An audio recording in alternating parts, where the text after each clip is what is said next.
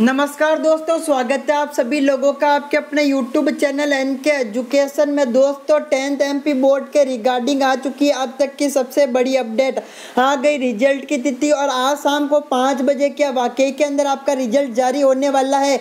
या फिर आज शाम को पाँच बजे आपका रिज़ल्ट जारी होगा या फिर नहीं होगा? इन सबसे रिगार्डिंग आज अपन इस वीडियो के अंदर बात करने वाले हैं। गवर्नमेंट एग्ज़ाम की तैयारी करें डाउटनेट के साथ। यहाँ पर आपको राकेश यादव व आर एस अग्रवाल की सारी बुक वीडियो सोल्यूशन के साथ मिल जाएगी। अगर आप किसी भी क्वेश्चन में अटक जाते हो तो आपको क्वेश्चन की पिक्चर क्लिक करके क्रॉप करके डाउट टेन पर सेंड कर देना। दो सेकंड के अंदर वीडियो सोल्यूशन आंसर मिल जाएगा।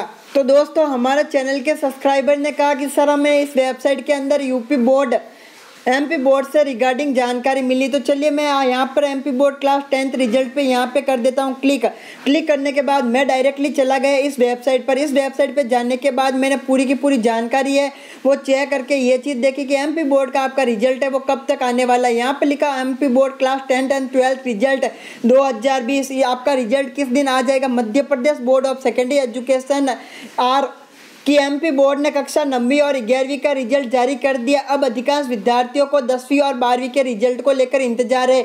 यहाँ पर इन्होंने क्लास नाइन्थ के रिज़ल्ट की तो डेट बता दी। यहाँ पर class eleventh and tenth tenth and twelfth की रिज़ल्ट की डेट यहाँ पर आप देख सकते हो, इस वेबसाइट की माने तो आपका रिज़ल्ट है।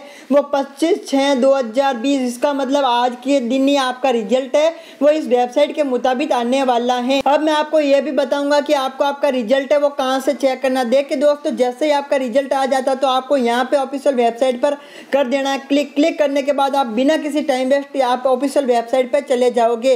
तो आप इस तरह से आपका जो भी रिज़ल्ट है, वो वहाँ से चेक कर सकते हो। दोस्तों, मैं आपको ये चीज़ बता देता हूँ कि आपके MP board class tenth and twelfth का रिज़ल्ट है। वो इस वेबसाइट के मुताबिक आ जाने वाला है, लेकिन इसकी कोई पर भी हमें जो जानकारी मिली है, वो इस वेबसाइट पर ही मिली है। इसकी सत्यता की पूरी जवाबदारी है, वो एक गवर्नमेंट जॉब पोर्टल ही ले रही है। तो धन्यवाद दोस्तों।